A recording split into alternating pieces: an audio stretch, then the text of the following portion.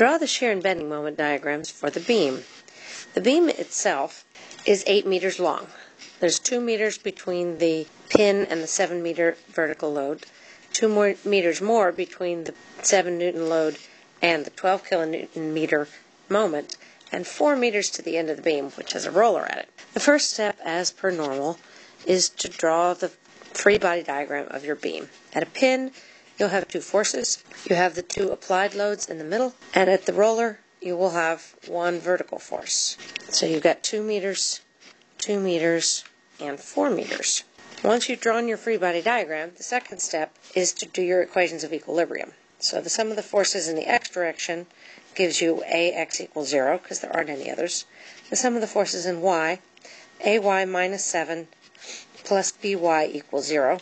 And the sum of the moments at, say, A gives you 7 times 2 plus 12 minus by times 8 equals 0. Well, if you solve that, by is 3.25 kilonewtons. And you substitute that back into the sum of the forces in the y direction, and you get ay is 3.25. It's 3.75 kilonewtons. Once you have your reaction forces, ax, ay, and by, then you can draw your shear and bending moment diagrams. The shear diagram starts at the left-hand end at the value of the reaction force there. The reaction force at the left-hand end of the beam is 3.75 kilonewtons. So that's where my V diagram is going to start. Nothing happens between this 3.75 kilonewtons and 2 meters, so V is constant up until that point. At 2 meters, you have a point load down. That point load down drops your V diagram by 7. So if you started at 3.75, you're going to end up at minus 3.25 because 3.75 minus 7 is minus 3.25. So this is the drop that comes from your 7 kilonewton load down. The 7 kilonewton load down drops your V diagram by 7. Now nothing else happens at 3 or 4. At 4 I have the, the point moment, but that does not alter my V diagram. 5, 6, 7, 8. Nothing else happens until the end of the beam. At the end of the beam you have the point load up from the roller. The point load up from the roller is 3.25. This is BY. It's important to notice that that gets you back to zero.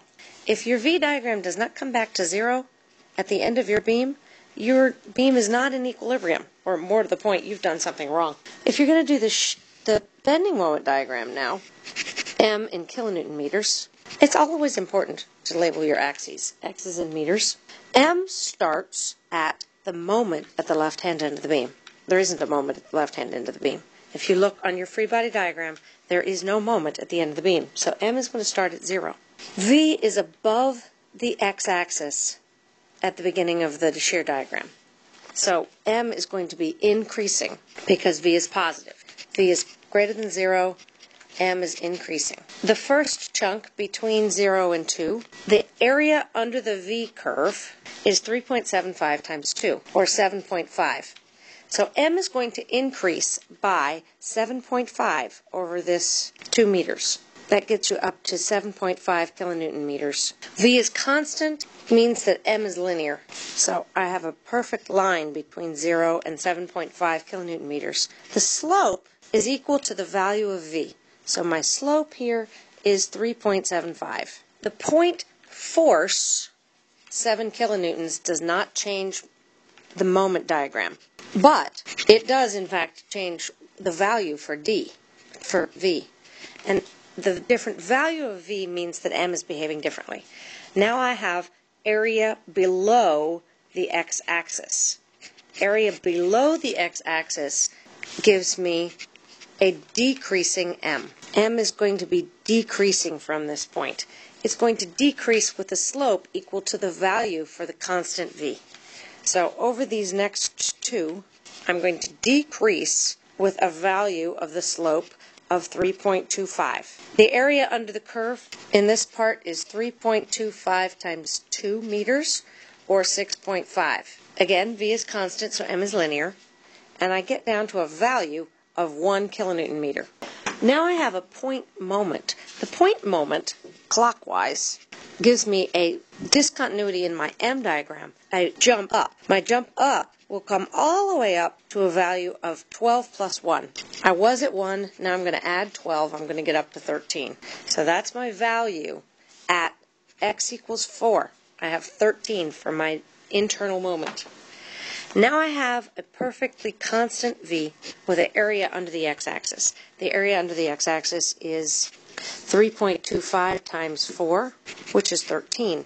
So my m is going to decrease linearly by 13. The area is under the axis, so you get a decrease.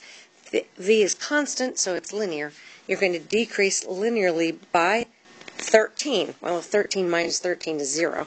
So we have come at the end of the beam, at the tip of the beam, to a zero moment condition. Double check does, that your free body diagram does not in fact have a moment at the tip and you have drawn the shear and bending moment diagrams. The slope here is minus 3.25.